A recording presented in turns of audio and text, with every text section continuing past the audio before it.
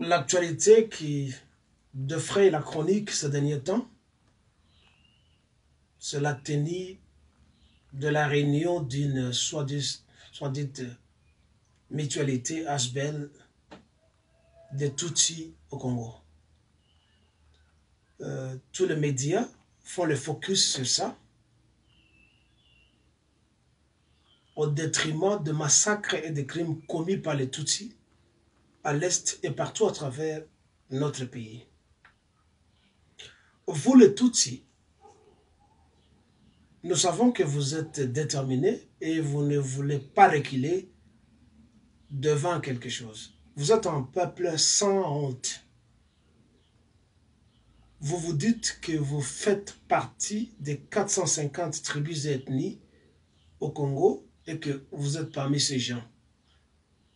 Pur mensonge.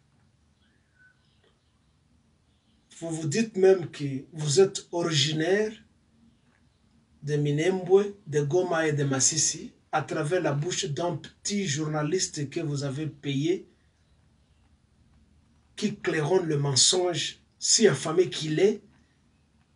Il martèle sur un tel mensonge pour le faire passer pour de vérité. Eh bien, c'est ce que de là que vous remerciez au cours de cette conférence de cette sortie. Il doit vous donner un terroir dans sa province, où il n'a jamais été d'ailleurs depuis qu'il est soi-disant président. Ne pensez pas que vous aurez un lopin de terre à Kinshasa chez les Bakongo, à Bandundu ou au Kivu. Même si vous continuez à dépeupler tout ce patelin-là, nous n'allons jamais vous intégrer. Vous êtes mauvais, vous avez chez vous. Rentrez chez vous.